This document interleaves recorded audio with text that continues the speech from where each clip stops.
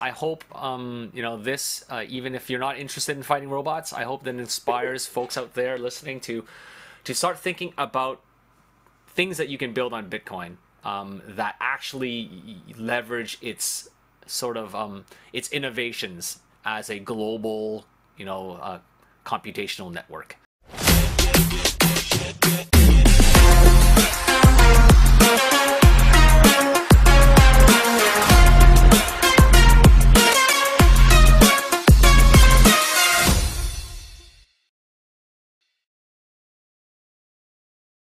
Hello and welcome back to the show. Today we have Jerry Chan joining us again. Jerry, hope you're doing all right. How you doing? Doing really good. Thanks, Brittany. How, I'm really uh, happy and honored to uh, be back in your show. It's always a pleasure to have you on the show, Jerry. Always a pleasure. But as I understand it, you you wanted to get into a discussion about Frobots. So, what is Frobots, and kind of give us the the little intro, the the spiel, so if you will spiel. I'll give you the, the five minutes, um, and, and then we because once I dive into it, I could literally go on for hours. Um, but uh, the five minute spiel is is Frobots is kind of the platform that I've been sort of secretly working on, um, and it's basically competitive coding, uh, or e and esports uh, for coding or for programming. So uh, that that's that. If that's too geeky, then maybe the more digestible form would be like you write robots, algorithmic robots, which fight each other to death for fun and profit. so kind of like uh, the the internet's version of uh, the the robot fighting. Robot Do you remember wars. those? Yes. Oh my yes. gosh. that was a that was a big inspiration actually. Yeah, the the the digital virtual form of that. Um, actually in every way. I mean in, in the mechanics in the fact that it's a competitive sport ex- except for the fact that you know battling uh sorry uh, battle bots or whatever it was called that that's physical robots. But you have it's a, it's a feat and test of of engineering right? It's an engineering competition plus a little bit of like reflexes because you know they have the remote control and everything. So Frobots is kind of like that except minus the part with the remote control because the game of BattleBots is like you build a, a, physical robot and then you you you literally control it and fight it. So half of it is building the robot and its abilities, and the other half is controlling it. Where Frobots is like 100% building it. So there's no there's no control aspect. It's almost like you build an algorithm that's going to do, you know, what you think is going to uh, be a winning strategy to win and then you, you throw them all in a box or in an arena and watch them fight it out until somebody wins. And you can actually see them like in an arena fighting it out or or is it just like a bunch of code that you see like interacting with each other? What what's no, it'll, the... it'll be an actual arena. So it'll be an actual arena. Um, right now the the front end is being worked on. So right now um, while it's playable you'll just see sort of like blocks you know that are moving around and then sort of like shooting at each other. So it's not really three-dimensional or anything. It's it's like tron 1982 or nice. 84 you know the game grid is just like two-dimensional uh, uh from from uh, uh, scene from an arcade. It, it's kind of at that level right now. But uh, the intent is to make it a little bit more um, exciting for the eyes so that it's a little bit more of a fun spectator sport.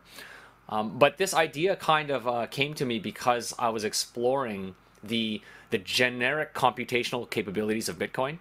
And what I mean was like um, Bitcoin could be a global computer. This is the dream that Vitalik has been spouting since 2015, except not really ex- not really executing in a way which is uh, practical, right? Because I think the the global computational power of Ethereum is uh, I've heard is about the same as a calculator, right? Same as this. Oh, there you go. So if if Ethereum can't compute more than this, then I would rather have you know 10 millions of these out in the public or in other people's hands, which is distributed, or having one giant version of this owned by called Ethereum. um, it doesn't really make sense if you think about it. But um, so I, I was exploring how you can do parallel computation on Bitcoin because of all the things uh, in, in, Bitcoin SV, which has enabled this possibility with its opcodes being uh, restored, which makes it Turing complete. Um, so you can build, you can you can sort of build finite state machines. Um, Craig has said uh, sometimes uh, oh, I don't remember exactly, but he's mentioned in his talks, right, in the past, now in public, that Bitcoin is effectively like a a, a giant um, um, predicate computer, right, where where smart contracts are kind of like state transitions on a state machine, and then this way you can kind of you, you can it, it can be um, equivalent to a Turing machine. And that's already been shown by folks like Xiaohui with sCrypt with you know some some academics who've proven it on paper. People have written conway's game of life on bsv so it's not in dispute anymore. So okay but what is the cool what is the commercial application of this i was thinking right? It's right. it's i started thinking well maybe you can build computation generally and then just just charge for computation right? I mean that'd be interesting. But um, but I got halfway down that uh, rabbit hole. You know, I got three months researching it, built a little small prototype, and then I realized, wait, I don't really think this is the world is ready for this because the question I asked myself was, um, when as I put on my business hat, you know, I took off the hacker hat, and I, I, I uh, and I said, okay, now I've built this prototype. Is this better than AWS? Is this better than Google Cloud? Is anybody going to pay for this? And the answer is no why would anyone pay for this i'm thinking i mean you don't have the guarantees you get from google cloud or amazon or microsoft azure uh, you, you get you get none of that reliability you get none of the tooling um, that makes it easy for people to developers to set up applications and software you know SaaS apps and stuff like this. So you really get nothing. But I mean, I saw I see the potential, and I do see that maybe eventually all of these tools and everything can be built. But it still kind of requires a bootstrap. Mm.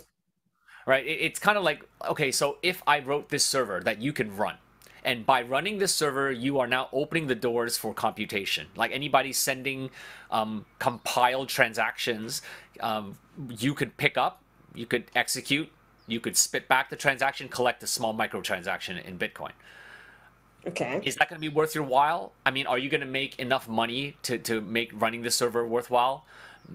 Probably not. I mean, th- like I mean, microtransactions, right? So you execute a piece of code. You think to yourself, how much is somebody willing to pay to execute Hello World or, or I don't know, a chat app, right? right? I mean, a chat app is free. WhatsApp is free. Telegram is free. Signal is free. So you're competing with free. So you're asking the clients, the payer side, to say, I want to pay one cent for every, or maybe even a tenth of a cent for every message versus free.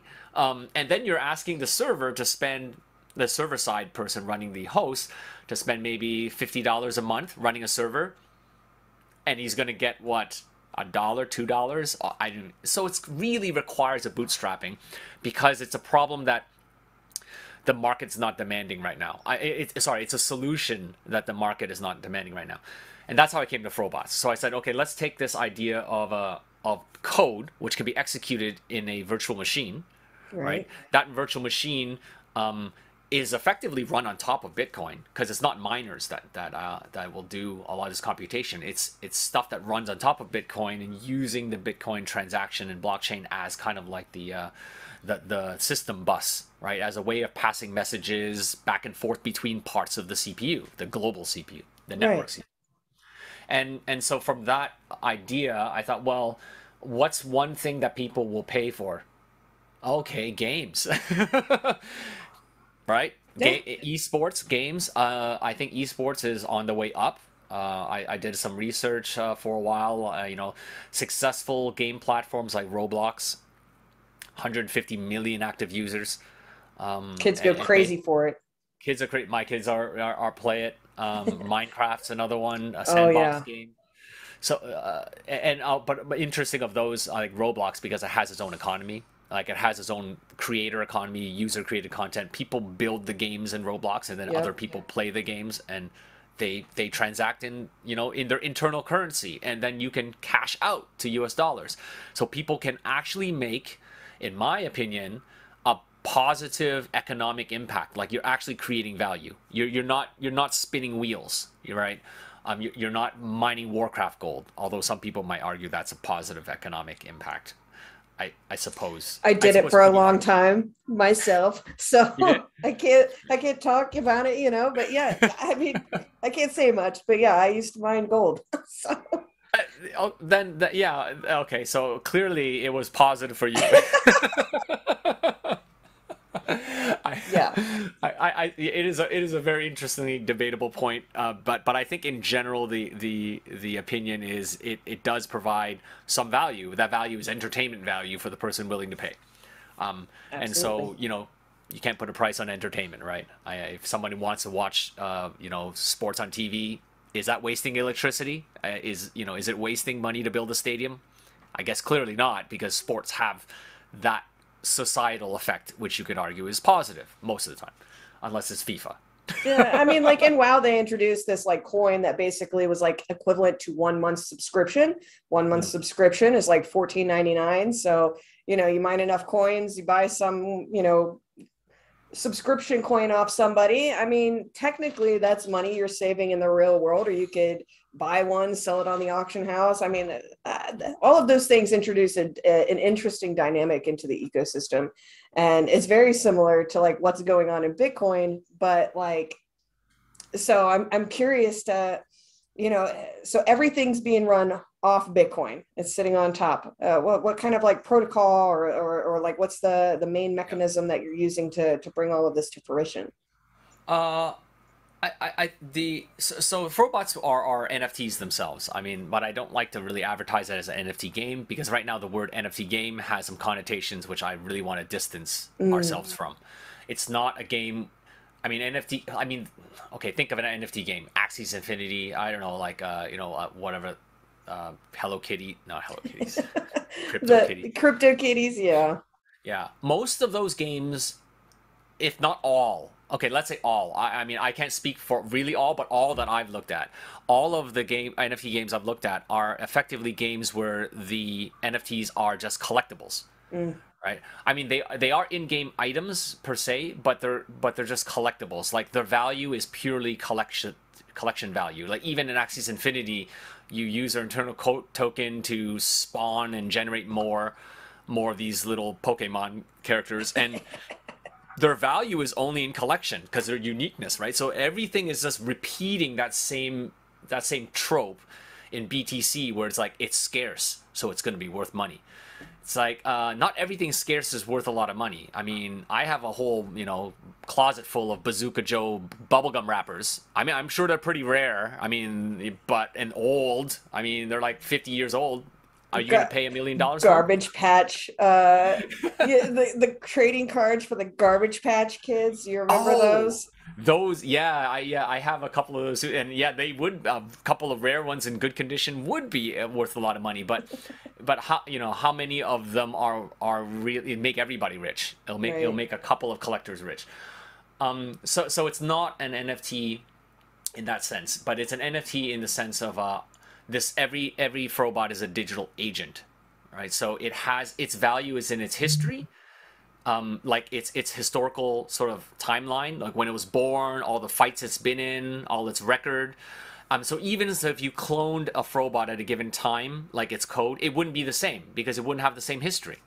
So so you could argue that that makes one more valuable than the other. For instance, if if you were to take Muhammad Ali and you cloned him, um, and he, then the clone would have all of, let's say, all of the memories, all of the physical attributes, of, uh, like of Muhammad Ali. Is there a difference between the original Muhammad Ali, who actually lived, version. right, of the clone? I mean, everybody is gonna will, will will agree that there's a big difference. One is the real one, and one is fake. and why is because you can always tell the fake. The fake, look, has no scars. The fake has beautifully baby fresh skin. Um, maybe he thinks he's the original Muhammad Ali, but he can't he can't show that he is. He even knows he's not, but because like I remember getting a you know a scar here, but I don't seem to have it. I guess I'm the clone, right? So th- there's th- that value. It, so so even though both fighters at that point in time would probably perform pretty similar in a fight one of them is worth more because one's the original. Mm. So so so that's the same premise I having I'm I'm exploring with Frobots is that NFTs are valuable because of its history, right? And and like it, it, how it's changed hands, who's owned it in the past. Maybe you're famous because somebody famous owned you in the past, and that's on your record. So that makes you more valuable. Um, and the other aspect that that makes uh, these NFTs um, have value is the fact that they have a revenue stream. I mean, in in in insofar as you know you're you playing the adult version of robots and you're able to gamble a bit or or do some betting, right? Friendly betting among friends, kind of thing.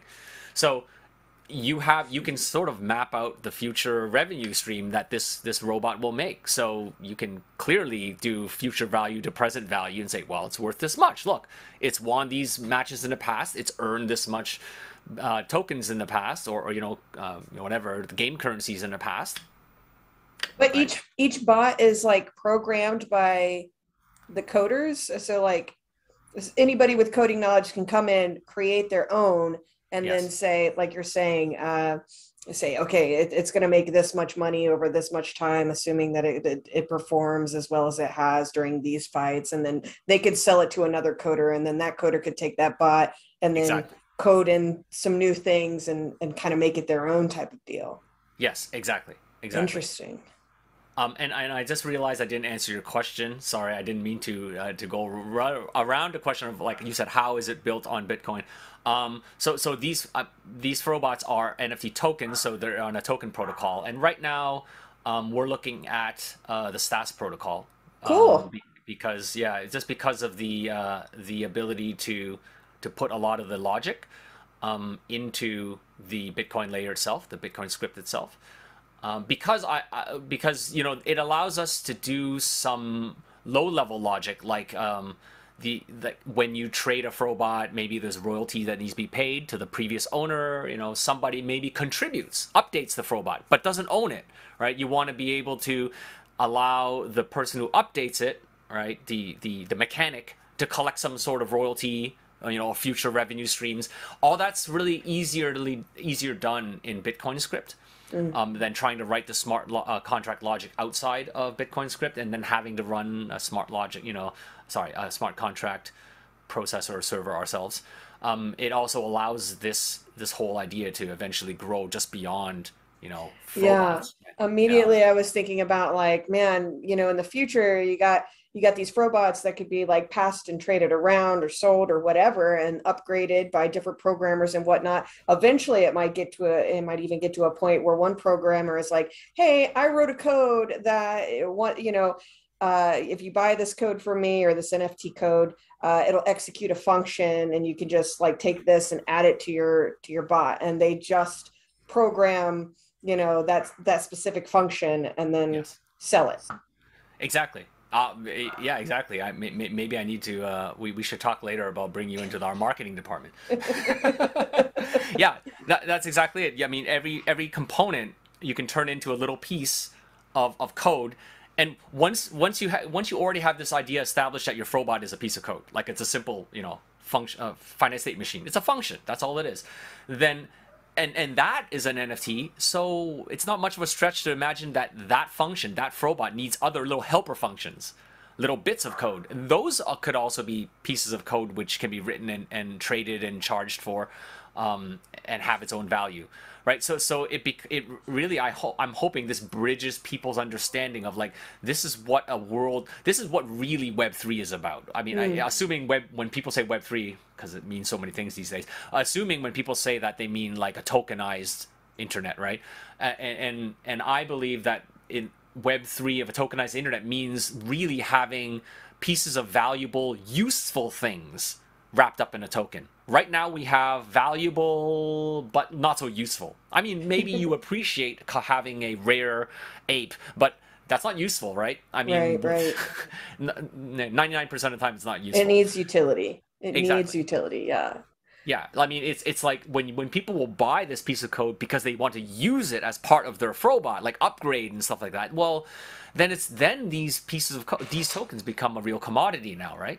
It's not just a commodity like Bitcoin with without any meaning, right? Bitcoin is just money commodity, I suppose. But Frobots have a it has a, like a real usage commodity. It's it's it's a piece of thing, a code, a function which can be used in this game platform. So it becomes like I don't know, like uh, like metal, like nickel, right, or, or palladium. It's it's not used as metal. I'm not sorry, not used as money these things are used because people build things with nickel and tin and uh, and copper, right? So, so I, I think I think that's kind of like where I want to push this, you know, this idea. Like NFTs aren't just for collectibles. Yeah, I get that. So my next question would be like, so I can understand like the the whole like esport aspect of it, where you're pitting bots against each other, but you know the users behind it, that's kind of a whole other aspect, you know. So I'm curious, like what type of implementations you've added or thought about to include like the user perspective. So like if there's a dev that comes out and he's like, man, this dev, whatever bot he touches is just undefeatable.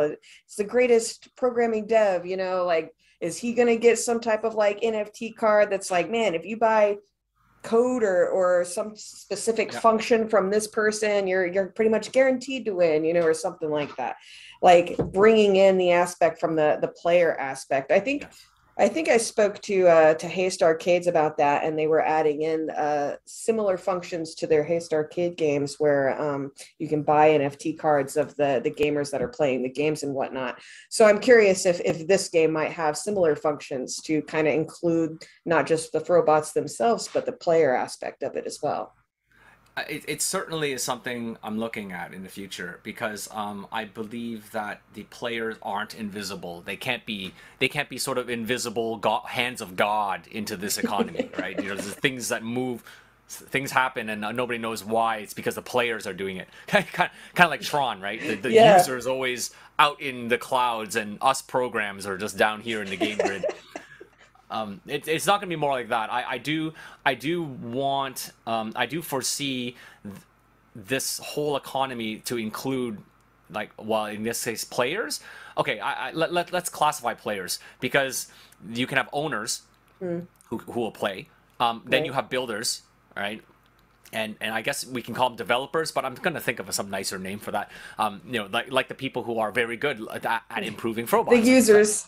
They, they, okay, we can call them users as a nod Tron then, right? The, the users who are just like hacking away at the thing. So you got users, you got owners, you got you got um you got um crafters, right? Because people who are just making objects, um which which uh, or or you have arena builders. I guess what you would call them is like architects, right? Oh, they yeah. just build like the, Didn't even the think actual, about that yeah the actual match i mean it doesn't always have to be the same um, terrain that people play in and maybe you like that particular map um, so so you can have people building that. It really is the roblox model where everybody builds everything. Like people build everything right? And and uh, eventually robots is just a platform right? Where where we just control this economy right?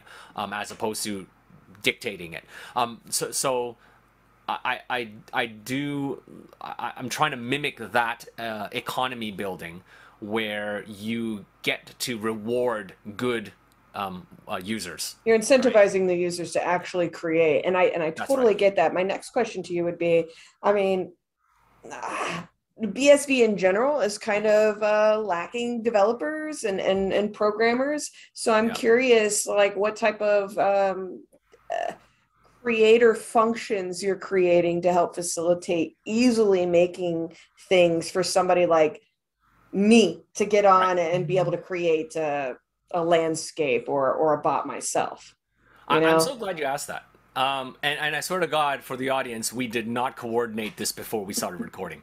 Um, like, but but seriously, you are just reading my like you're you're you're plugged into my brain here. Um, because uh, I was thinking, how am I going to bring this up? Uh, no, uh, that, that's exactly a very good point. And, and the, fir- the one of the initial things I, I wanted to make sure when I set out um, designing Frobots was that it has to be accessible to the greater gaming audience.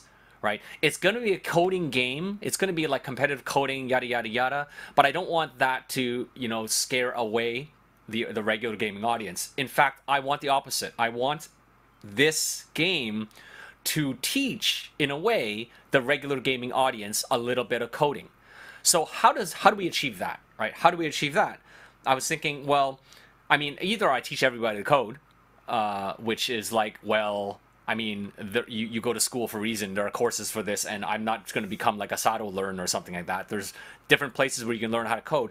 But we need to be able to get people to write code without actually writing code. And so um, there are actually a lot of um, good examples of this already out there in open source space. Um, I just looked at what my kids are doing, right?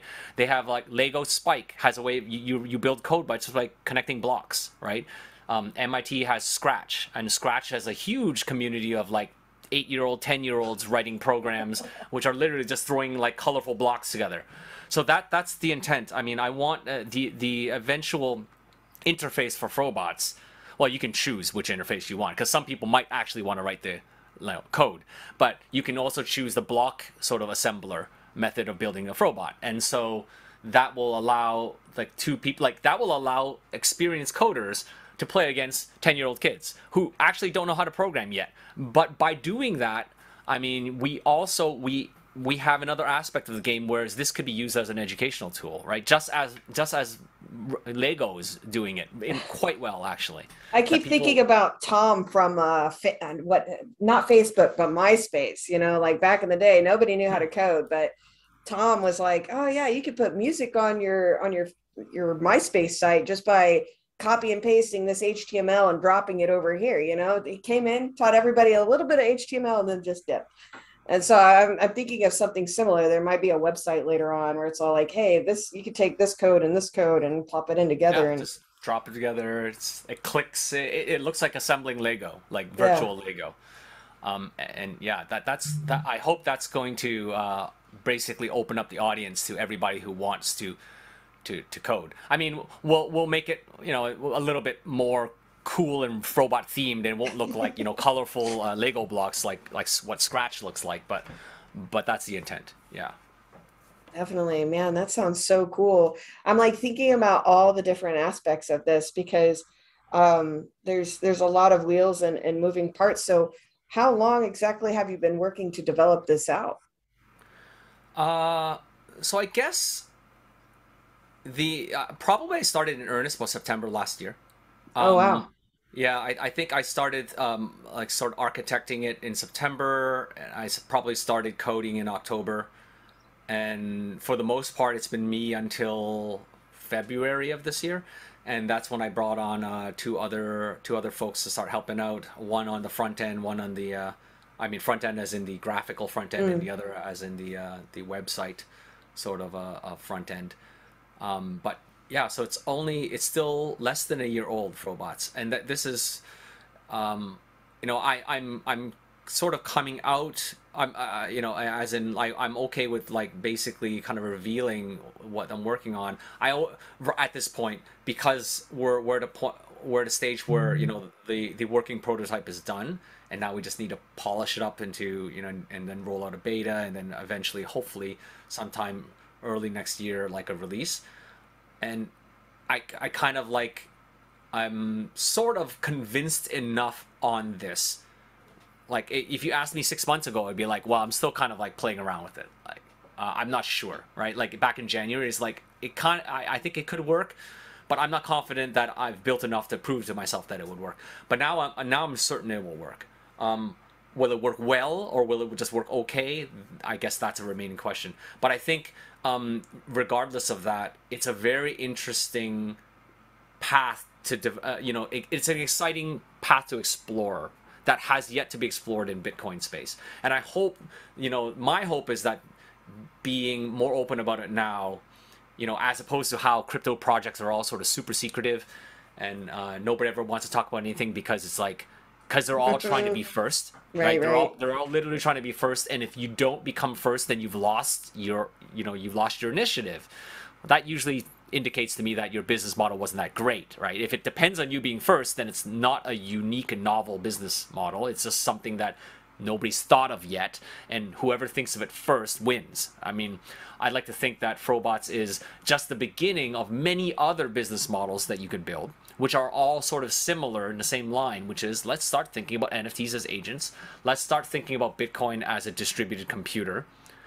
And I'm happy for, I'm not, not more happy. I would be ecstatic if more people started doing projects which are using Bitcoin as a global distributed computer need not be competitive robots like what you know what Frobots is, but other there are so many other things you can build here. I just that's kind of like my hope in in this message. It's like, you know, I'd like all those Ethereum and Solana developers out there to stop what you're doing and think about is it really exciting what you're doing building yet another exchange yet another you know stock trading or token trading application yet another decentralized finance? It's like don't you find it ironic that bitcoin set out to remove the trusted intermediary and then an entire entire sector of crypto industry, all the developers and ecosystem have spent the last eight years building intermediaries. Like what is fine? What is a financial service? It's an intermediary, like literally by first principles. So the fact that you're building a decentralized one doesn't change the fact that you're just building more middlemen just a decentralized middleman. Is that really that exciting? I think there's so much more exciting things to be doing in the space of pushing, you know, this whole distributed computational network. I mean, we are looking at the goal, which is the most efficient utilization of all computational resources on planet Earth. Is that not a cooler thing to, to, to be working towards than oh I can I can make a you know a token where you can people can stake their money and earn some yield for free. That sounds really exciting. Um, anyhow, I don't want to sound too too no, cynical. I like it though because it, it's true. I mean, that's what most people are focusing on. Like outside of Bitcoin SV, like that's what it's like. People are like the next DeFi, the next Bored Apes, the next, and it's all the same regurgitated stuff over and over and over. It can't be fun as a developer to sit there and be like, "Guess I'm gonna work on another." Another DeFi platform. Yeah, yeah you know, whatever. Exchange uh, Uniswap, you know, so that people can change money without, you know, without an intermediary. Except my code's the intermediary. my God, uh, so it makes sense. I like to see how passionate you get about it because that that whole spiel is like, I'm digging it. I'm digging what you're putting down. So next question, you know, when might we see the beta version come out? And do you have oh. any like concept art you could show us?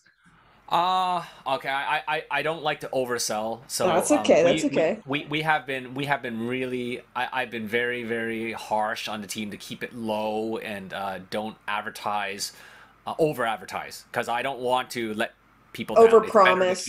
Yeah. yeah. exactly. Un- over promise, under deliver that t- that type of thing. Um, but but but I do, I do want to answer your question as well. Um, so so you know we have a website frobots.io, and if you go there, there's a there's a sort of a sneak sort of preview kind of sign up for the beta, which I think communicates a little bit of the theme that we're going towards.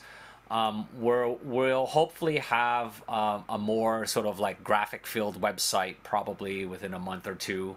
Um, you know, no promises, but I'm, I'm actively looking for more uh, to hire more help in that area. So, you know, if that sort of pans out, then uh, hopefully within a couple of months we'll have like an info site. Um, in terms of the beta, if you go to the Frobots.io site, it's already you can sign up for the the beta. So we're taking signups, and um, we're working on a private internal beta first because the front end is not built. So you know only developers. So sorry, you like initially for the beta, you're gonna have to write actual code. So um, mostly because we also, you know, I want to debug, I want to catch all the bugs in the code interpreter before before we move it to the the simplified block editor. Um, so, so, so I think the beta will probably also be within uh, one or two months um, internally, but uh, like I said, I think the the end goal is probably the release, like a public beta release, um, will probably be early next year, because that includes like a public beta, you know, it's we're not going to release a public beta without a proper front end, like a right. proper graphical, un- like something that looks respectable and what you would expect from a mobile game these days, right? Not a two dimensional grid. So, so is this something that you're only going to be able to see, like, uh, you know, on the computer? Or are you making out an app for it so, like, you can open up your phone and be like, "Hey, there's robots," or is it just yeah. going to be on the on the website and for right now? Uh, initially, we're focusing on the web platform initially. Um, and and after that's launched, we'll start we'll start working on the mobile platforms. The reason is uh, because um, there's there's uh, there's other considerations with mobile that's kind of um, th- that are complicated because yeah. like writing writing like I don't iPad maybe I mean, clear, my, my kids use iPad to, to do block editing code. So an iPad would be playable uh, for sure. Um, but mobile be hard because I, you know, how do you get people to even write, even with dragging dropping blocks and it's it's kind of complicated on your phone. But maybe there'll be a view only, you know, version so you yeah. can watch fights. That'd so that maybe cool. you know uh, you wouldn't be able to program your robot yourself, but you can sort of like watch other fights going on uh, on on the mobile. And so that's something that we can think about. Yeah, I would love to see like uh, some like API. I think it's called API integration, where like uh, I could be like watching a game uh, between these guys go off, and I, I could just like grab like the code to watch the game and like input it into Twitter and be like, "Hey, I'm watching the game between X and X or X and Y. Come watch it with me." That yeah. sort of thing. Like being able to allow people to self-advertise in that way, that'd be pretty cool as well. Because um, if I had a bot and I was like, "Hey, I'm gonna win, watch me," yeah, I, I'd want to be able to quickly port that over in uh in, in that sense right so yeah, and, and have a troll box in the side so the people oh, can yeah. be like egging you on like uh, yeah, you suck. Da, da, da, da, I'm gonna kick your butt. I mean, I, I could see it getting very competitive. I mean, I remember sitting there on the couch with my with my uh, oldest daughter, and and watching the robots uh, fights because I think back in like 2015, 2016, they brought it back for a little while, and I remember us sitting there and she'd be like, "Oh, they got him." I was like, "Man, that that's super cool." So just the whole right. concept of that being like online, I I'm really digging it a lot. Yeah. I, I watched uh, yeah BattleBots quite a bit too. I, I well the American one. I know the British one. Yeah, yeah. They made another version. Um, that that looked totally insane. I watched it recently on the internet. They, like they have giant like killer bots that just go out and start killing everybody when the time's up or in some like sudden death round. I was like, wow, take it to the next level. Um, but but yeah, I, to- I I love that idea of of spectator sport, but also it's a skilled sport, right? I mean, for the people, for the players, or the users who are building the robots, it's skilled. It's not it's not luck based. Yeah. And I think that's kind of very important because if it's luck based, you know, it kind of treads close to gambling then, right? And I, I mean, not, not not nothing wrong with gambling where it's a, where it's totally legal for you know for you to do, but um, it, it's still it's still more of a okay. You're just recycling money then, right? I mean, at the end of the day, you're recycling money for fun. That's gambling, right? right Among right. friends, you're just sort of you know you're redistributing money for fun, right? Maybe sometimes you win, sometimes you lose. You're in it for the fun because it's all friends, right? But then obviously there's degenerate gambling and those people just losing money to the house. But uh, that's that's obviously not good. But uh, but when there's a skill aspect to it, it's not gambling anymore, right? Because you're learning how to write better code. I mean, and and that's kind of like why I, I really got into this because I started out in this journey thinking to myself the problem with with a global distributed compu- computer on Bitcoin is that people don't write code in a Bitcoin way. So I was trying to solve that problem is how do I compile a high level language like like JavaScript or Clojure or something and then turn that into Bitcoin transactions or Bitcoin script so that can be executed on a global network computer. The problem is like I'm not going to get this whole mass of people able to do to to write even it's hard to compile something into Bitcoin because you still have to write it in a Bitcoiny way. Anybody any developer who's played with Solidity and Ethereum or sCrypt and BSV knows you you're not writing a standard programming language, right? You you it, it is you can kind of see the Bitcoiny um, characteristics right. up up at the up at the highest level. So so I, I sort of structured Frobots so that you're effectively writing a Bitcoin contract. I mean, your Frobot is a Bitcoin contract. So unknowingly, you know, if this game becomes crazy popular, hopefully my wish is that in five, ten years, you have this whole cohort of people able to program Bitcoin. It's just that they never they didn't know it. Uh, all they need to do is maybe just have a very simple compiler which changes their Frobot code into Bitcoin script now you have a Bitcoin con- smart contract. I mean, now it's no longer a robot fighting a game, but you know, I mean, your brain is already taught that. Wow. And, right? That, that, that, so there's a huge educational aspect to this. And this is why, you know, I don't think it's, it's, it's gambling or, I mean, it's, it's sort of skilled gaming, but educational skilled gaming. You're I mean, something. later on, people that have like massive amounts of BSV that want to come in and play and win, they could pay to to be good, you know, yeah. like, hey, I'm gonna go to the best programmers, users in the space and buy their best pieces of code from them and compile it, you know. So they could pay to win, but I wouldn't call that gambling. That's just kind of like why pay for something when you could just as easily learn how to code it yourself. Yeah. So well, and, and, and, yes, and and that's and it's not as bad as pay to win because what you've just described would be a completely legal way for you to play robots later in the game. Um, but it is it is more um, wholesome, I guess, than a regular play to win because what you've just done is you've paid all that money. You came in as a big as a as a big roller, a high baller, right? And you're buying these robots that other people have built. You're buying all these parts, these codes, uh, bits, and functions that people have built. You are you are paying for their living. You've just helped the economy. You've encouraged more developers to develop more because you've shown your willingness to give them money for it.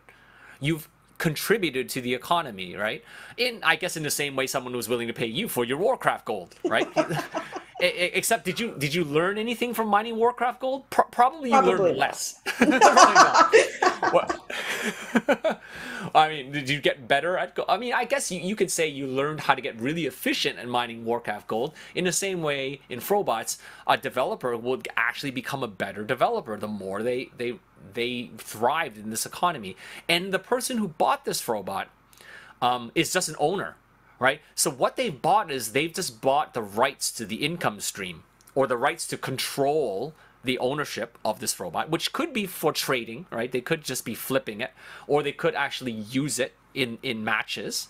Um, of course, using it in matches has risk because if you start losing, then your your record goes down, value goes down. So um, there, it, it is not a is not a guaranteed win, right? That's what I'm trying to say, and that is how the real ideal economy works. All right, people come in, you are allowed to buy companies, right? That's not a bad thing, um, because there are risks with that purchase as well you can mismanage that robot. You can buy it and do nothing with it. And then, you know, if you try to sell it five years later, people like, hey, it hasn't actually played a game in like five years. Maybe it sucks now. Maybe it can't compete. I don't know. I don't think it's worth that much.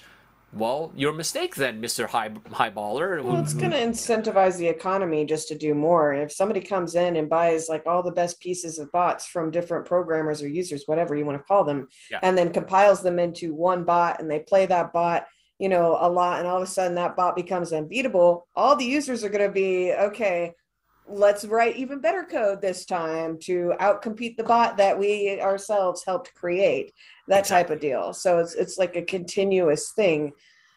Ah. I, I like that you said that because uh, that was the last uh, topic I didn't touch upon play balancing.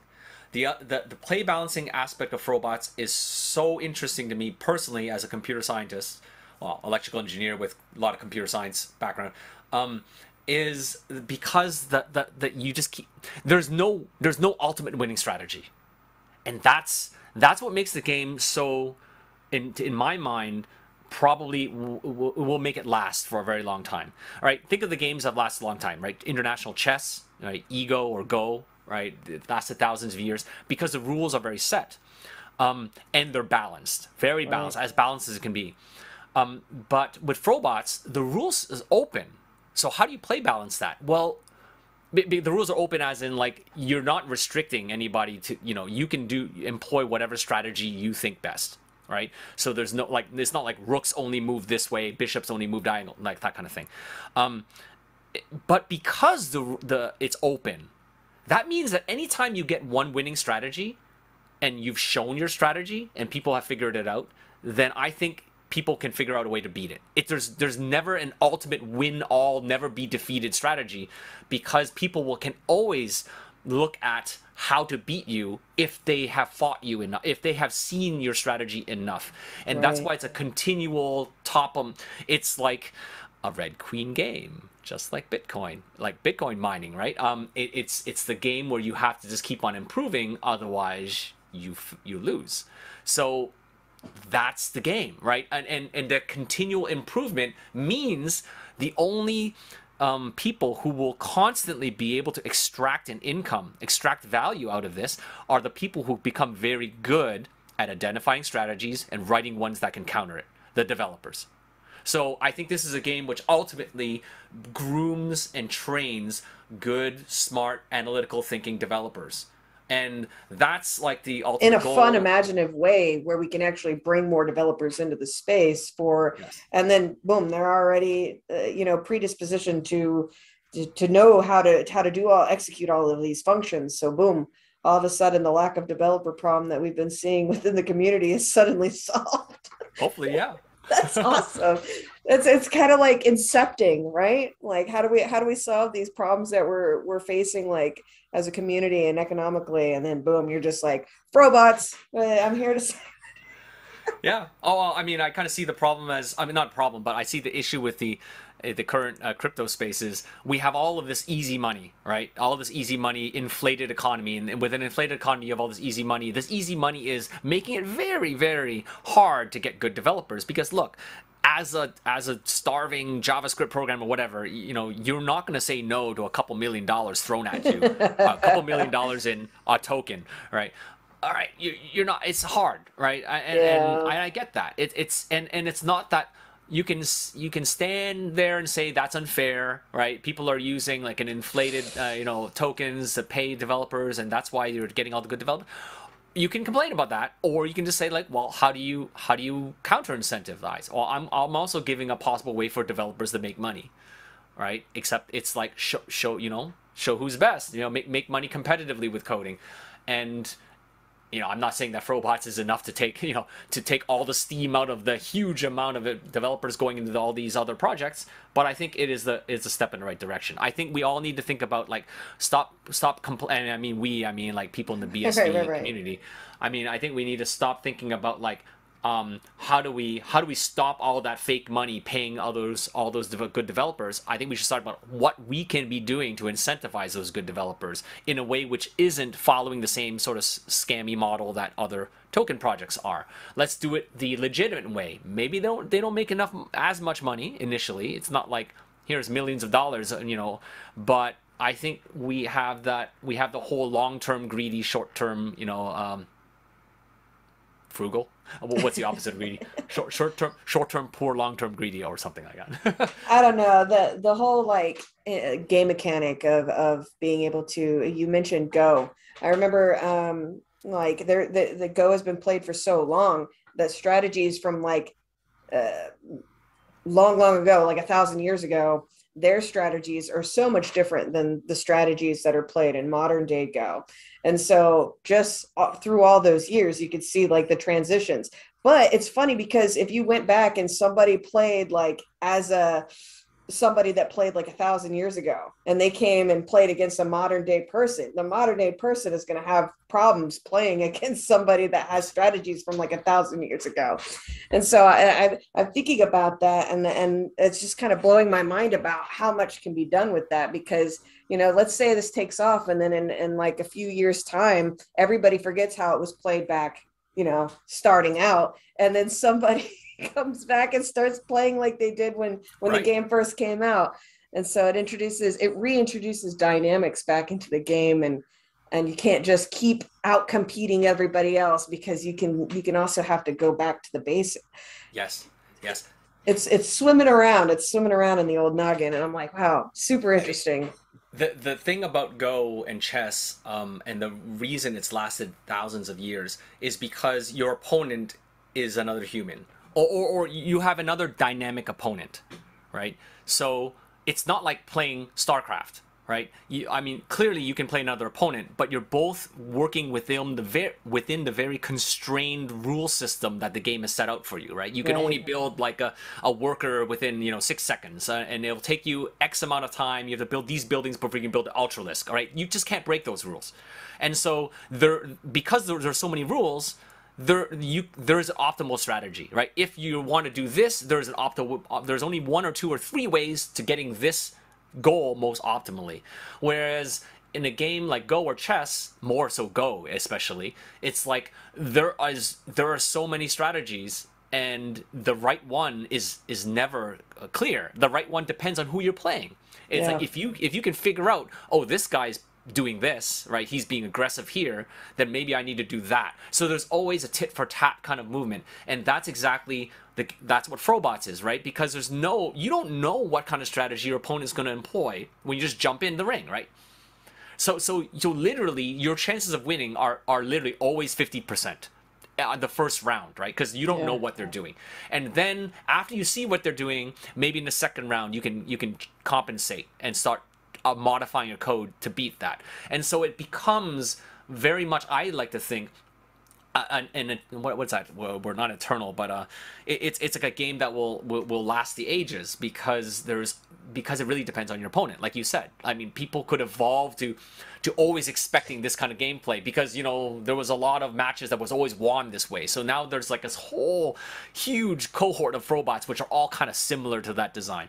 But then that may only last like a year or two and then somebody goes back to an old one which nobody kind of expected and then wins right? So yeah, yeah that's that's exactly why i think it has lasting power um, because it's an open-ended uh, not rule wise but um, strategy wise it's it's sort of so many possibilities. Like go right? I mean i heard that the possible the number of possible moves it's, possible games in go are more atoms in a universe or something yeah it's insane it's insane. I, I don't play Go personally, but I had a friend that used to play and he was trying to teach me and I, I couldn't understand it very well. But just the way he spoke about it, super passionate. And I was like, okay, I mean, I, I get it, you know, like you're it's like chess, but you know, in your own way. But yeah, he was he was super competitive about it. And he was always like, uh, he was he had books and books and books of like strategies, and they were all from different and he he would study his opponent and go through the books and stuff. And so that's what i'm thinking now it's like man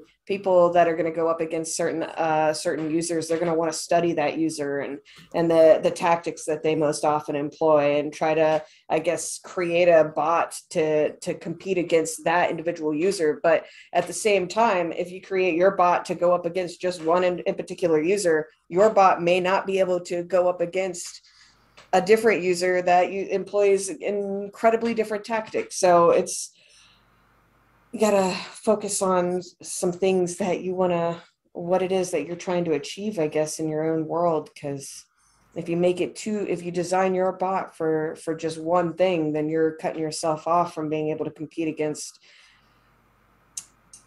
yeah i'm sorry i'm going off a little bit on a tangent there but I, I see i see all of the different things that it's capable of. I'm super excited so, so do you want one final thing to to sort of blow your mind? Um, yeah, yeah.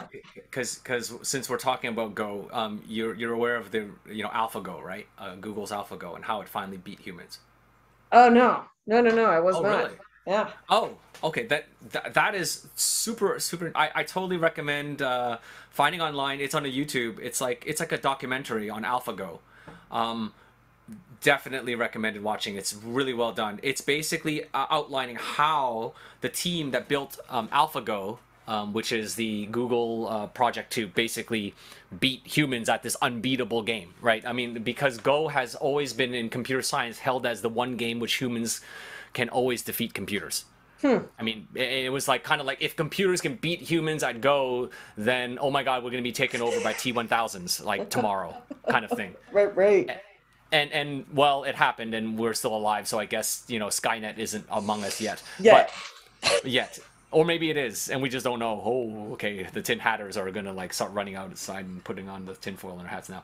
Um the, the but in that documentary i mean um it explains and it's super interesting but it, computers finally beat humans. And and they and how it did it is because they got like these this go pro like this go champion I mean, like a third Dan level champion, like third level uh, Dan, which is which is good, but not super. He was he's the champion of UK. He's Chinese, mm. but he's hmm. living in UK, and uh, he actually went. Oh, sorry, not UK, France. I apologize, France. Um, I don't remember his name, but um, but he was the he was the guy who went and went to the team in UK, uh, the Google team in UK, and helped teach right play the uh, AlphaGo uh, algorithm, the the oh, machine. Oh, wow. Uh, to train it a bit, and and he was like, "Oh, I'm gonna kick its butt." Right? I'm gonna like I, every attempt at, in the past, the human has whooped the machine's butt. Right? And he he thought he was gonna whoop its butt, and uh, he lost. And he he basically had um, he was so shocked he just left the office. He went he went he, he walked around London for an hour. He had a come to Jesus moment like where he thought his whole life was like meaningless. Wow. Like he literally thought like you know this is the end of the world. Um, and if you play Go, you can kind of you can understand. But if you don't, um, you know, you just have to, you know, you have to know Go because Go is one of those games where you need intuition. It's super intuitive. Like I, would yeah. see my, I'd see my buddy like play himself on a chessboard uh, or on the on the Go board, yeah. and. It, it was like a whole battlefield un, unfurling on the chest on the board itself and you're like Right. what is going on because it seems so intense but Yeah. it's just And- him staring at it Yeah, and, and, and so you know to get a computer to understand that from from any sort That's of algorithm, super- it's, it's very unfathomable, right? Unfathomable, fathomable. Um, uh, so, so that that's why. Um, so so that was just the third Dan guy, but. But that's only third Dan, right? You know, nine Dan is the highest level, and this guy from from Paris, he wasn't in the circles. Like he could not even challenge the the ninth Dan level guys. I think he's from Korea or something like that, or China, one of them. Um, and and so he was like, okay, it beat me. That's pretty scary, but I don't think it can really play like the top level ones. And and actually, he he uh the, the okay the, i'm gonna cut the, the the thing short. The documentary basically ends up with him um actually it, it played the the highest level dan uh uh, ninth dan guy from korea. And it it beat him soundly. Like it i think he only won one game out of five. And he was visibly shaken. Like he was in his description of what it felt like was he was playing an alien intelligence which was super interesting from a cognitive science perspective because go like you have to understand your opponent in order to win. And as good as the human players became they were only good at playing other humans. And and that kind of gave you gives you an insight on what makes us human. Like we all no matter what culture you come from we all have certain things that we that we share. Like we're afraid the same way. We we we we analyze risk the same way, right? You do this, I might lose this. You know, I don't want to lose this. Uh, and and for him, he said this thing that he was playing was not human, and it would it would never. He, it's unrecognizable. It was making moves that made no sense. It was losing pieces left, right, and center, and it made no sense until at the end of the game boom everything fell apart- everything fell together and it, and like he lost Oh man, was, I like, can only so imagine scared. him like going back home and like replaying each move that was Yeah. made like on the board and like trying to figure out like where it all went wrong, no, like he- he did. I precisely. mean, he did yeah in the documentary they go into they go into his analysis and he realized and this is like everybody's been picking apart these games for the last i don't know five ten years it's, it's been a while since it's happened um but but it- but to circle right to my point sorry Right, I- right, right. We're, we're having discussions so we're Hey. making long-winded points we're having fun. It's cool. they, I think you know, Frobots is one of those games where you can train an AI to play too, and I think it'd be really interesting to see what strategies an AI comes up with. And I, honest to God, don't know off the get go whether humans will win versus AI or AI versus humans because because I don't know because I I, I don't know it, it's it's so open ended. It's like okay, if human does this, is the AI smart enough? But the AI only trains itself on past games. But humans always have that intuition. Is, is are AIs at that level where it can guess what strategy the human will do next after it does X? Like after I I show I show the human this like this perf- this battle, like I, I actually play one battle. I have to be able to predict what the human's going to do next, and and maybe AIs can do that now because you know we lost at Go, or maybe not. I don't know. I don't know. And uh, so so that's kind of like an interesting thing, which hopefully Maybe Which it's hopefully one of we'll those things with just enough compiled data of previous games, they're able to judge what the user is going to do next by tossing away their pieces, not frivolously, but like instinctively being like, if I toss this here and then they make this and I lose that piece, then this is going to be their next move. So this is how I counteract it. And if they're going to play like this, then obviously their strategy is going to be very similar to that and then they employ a tactic to to execute that function to beat that in particular user maybe that like thinking about it though that hurts my brain uh, like But wouldn't it be cool one day we had like a team, you know, hu- team humans versus team AI